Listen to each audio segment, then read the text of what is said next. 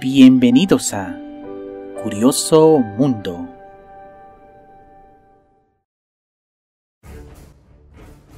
En nuestro planeta se han presentado casos de personas que han vivido muchísimo más tiempo del que pareciera corresponderles. Aquellos que han superado la barrera de los 100 años son conocidos como centenarios. Pero hay un grupo más selecto, Aquellos que han superado los 110 años de vida son conocidos como supercentenarios. Supercentenarios, los humanos más longevos. Desde tiempos inmemoriales, los seres humanos hemos querido encontrar la forma de alargar nuestra juventud. Esto por no decir que lo que muchos ansían en realidad es alcanzar la inmortalidad ¿Será esto posible? Bueno, día a día con los avances de la ciencia, este deseo se convierte de a poco en poco en una posibilidad latente. Sin embargo, y fuera de la intervención de la ciencia, en la naturaleza encontramos diferentes especies, tanto animales como vegetales, cuya esperanza de vida es muy superior a la de los seres humanos. Uno de los casos es el de la almeja ártica islandica, cuyo ejemplar encontrado en el año 2006 alcanzó la edad de, escuchen esto, 507 años. Tal cifra le otorgó el récord Guinness al animal más longevo existente y a la vez le significó su propia muerte, ya que el grupo de científicos, por no llamar imbéciles que le estaban estudiando, resolvieron matarla para averiguar con más precisión la edad que tenía. Sí, algo similar al caso de aquel investigador estadounidense que en octubre del 2015 halló una especie de ave que se daba por extinguida desde hace 50 años y que luego de mostrarla como un trofeo por los medios de comunicación, terminó matándola argumentando que estaba en su pleno derecho porque él había sido el que la había encontrado, y que igual cabía la posibilidad de que aún hubiera unas cuantas más escondidas por ahí. Hay de todo tipo de idiotas en este mundo.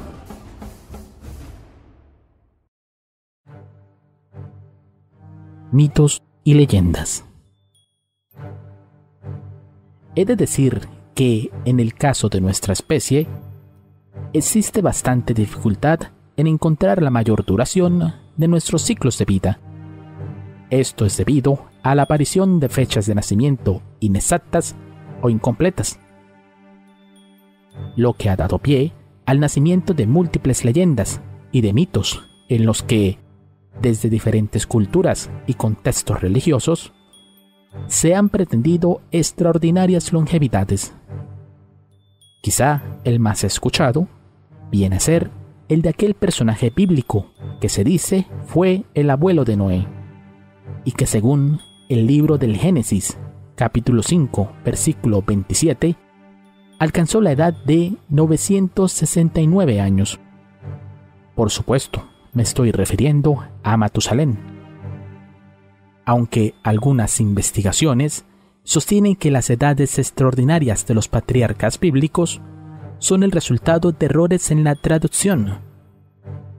La llamada confusión de los ciclos lunares con los ciclos solares. Y que, en resumen, nos habla de que las edades señaladas eran en realidad 13.5 veces menores. Siendo así, los supuestos 969 años que tenía Matusalén se reducirían a poco más de 71 años, una edad en verdad longeva para la esperanza de vida de aquella época. Los demás personajes bíblicos con mayor edad vienen a ser, en segundo puesto, Jared, con 962 años. En tercer lugar, Noé, con 950. Y en cuarto, Eva, con 940 años, superando la edad de Adán por tan solo 10 años. Alejándonos de los personajes bíblicos y entrándonos en el terreno de las leyendas y de los mitos, encontramos una notable declaración del historiador griego Diógenes Laercio, la cual viene a ser la más antigua referencia acerca de una plausible longevidad centenaria. En este documento se afirma que el filósofo Demócrito de Aptera había vivido 109 años. Otras referencias de pensadores de la época corroboran el dato. Y además, la posibilidad de que eso hubiera sido cierto es respaldada por el dato de que la mayoría de los filósofos de la antigua Grecia vivieron más de 90 años.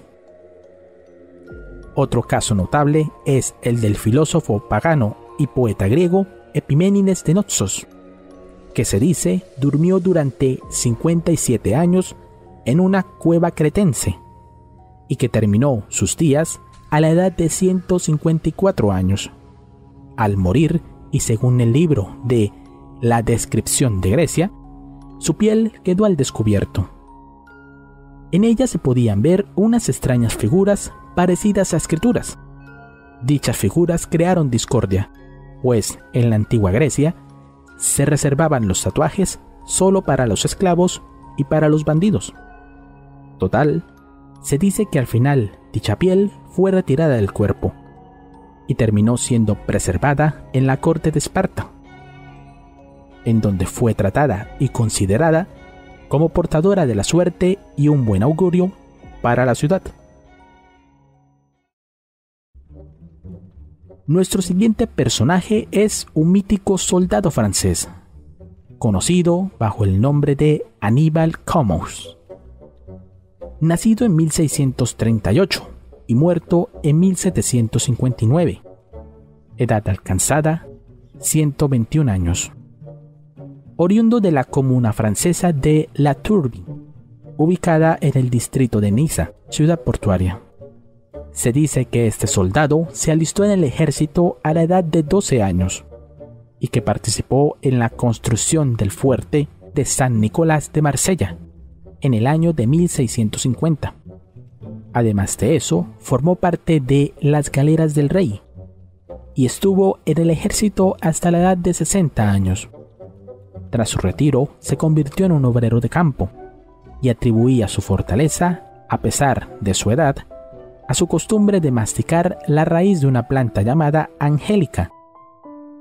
Total, a sus 100 años, el rey Luis XV le duplicó la pensión. A los 117 años, muchos artistas pintaron su retrato, siendo el más famoso el denominado La entrada del puerto de Marsella, del grabador francés Joseph Vernet. Tras su muerte, su edad fue confirmada y proclamada por el cardenal de Beloy, obispo de Marsella. En la cultura china encontramos a un personaje equiparable con el ya nombrado Matusalén. Se trata de Qian Keng, mejor conocido como Peng Su, y es famoso por esos lares por haber alcanzado una edad legendaria, más de 800 años. Para empezar, es considerado como un santo del taoísmo, también como la figura legendaria más longeva de toda China.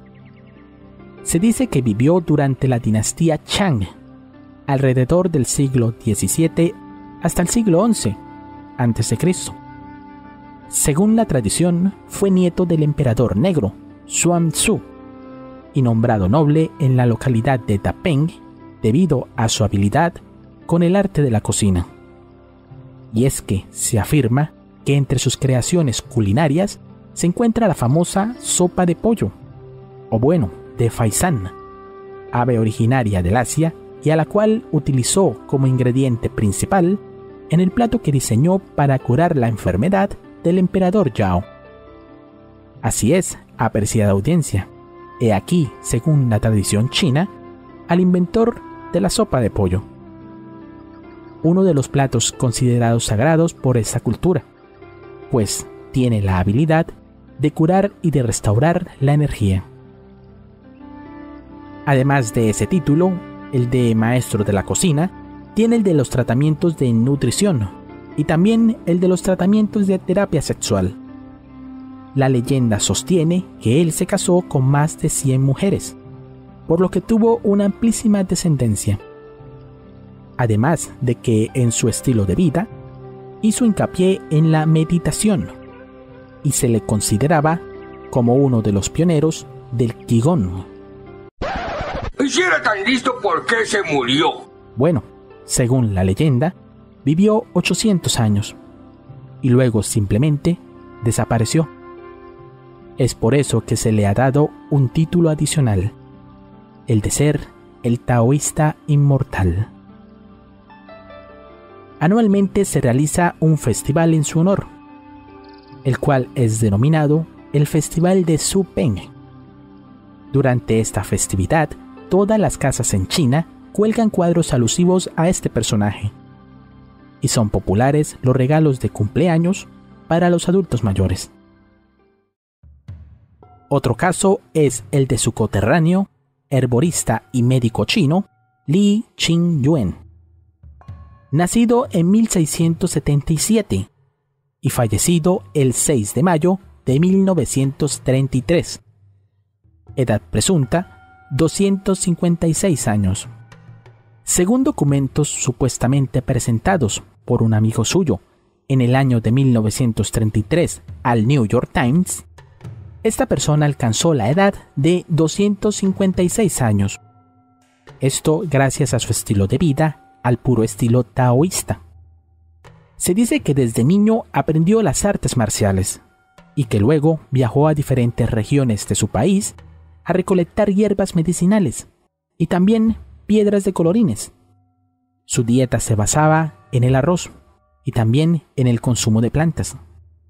Durante toda su vida practicó la llamada alquimia interna, práctica que consiste en ingerir los ingredientes y después hacer ejercicio, para que estos se mezclen bien con el organismo.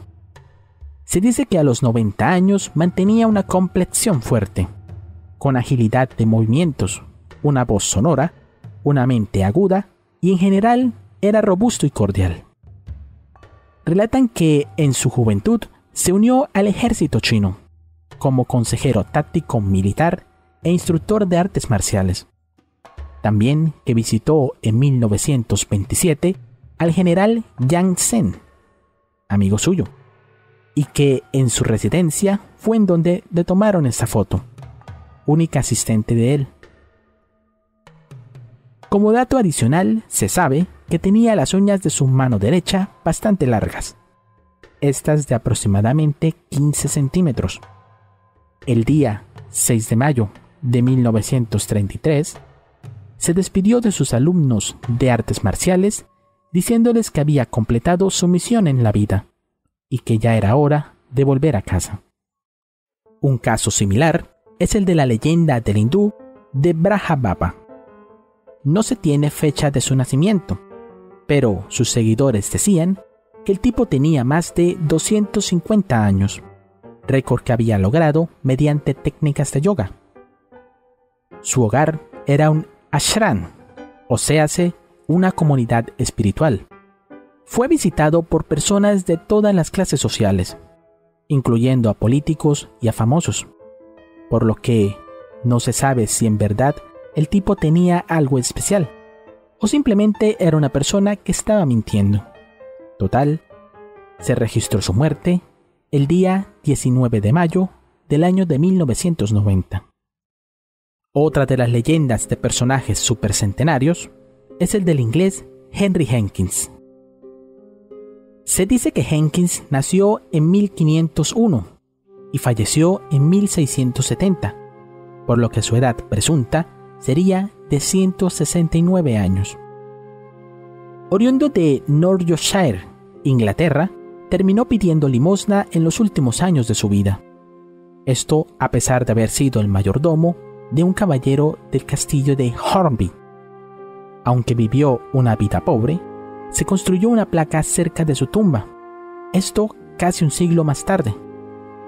La placa está acompañada de un epitafio, el cual dice, aunque el mundo parcialmente despreció e ignoró su condición pobre y humilde, el ojo imparcial de la providencia le vio y lo bendijo con la salud de un patriarca y con la duración de los días, para enseñarle al hombre equivocado que estas bendiciones son producidas en la templanza, una vida de mano de obra y una mente de bienestar. Vivió hasta la sorprendente edad de 169 años. Fue enterrado aquí el 6 de diciembre de 1670 y en 1743 se le hizo justicia a su memoria. Y con todos estos personajes que les he presentado en este video, queda la idea en la mente. En verdad, son tan poco comunes las personas supercentenarias. Pareciera que no, a pesar de que en la actualidad aún quedan vivas un puñado de personas nacidas en el siglo XIX, el listado se vuelve interminable cuando profundizamos más sobre el asunto. Los presentados aquí son solo unos cuantos de los cientos que he encontrado. Y aún así, esto es algo que nos se acerca a un curioso libro que fue presentado por el historiador danés Boel Willum Lusdorf, titulado Íconos de longevidad. Este libro contiene un catálogo de personas supercentenarias provenientes del siglo XVIII. Para ser más específico, el libro contiene 728 ilustraciones. ¿Qué les parece? Espero que este video les haya gustado. Suscríbete.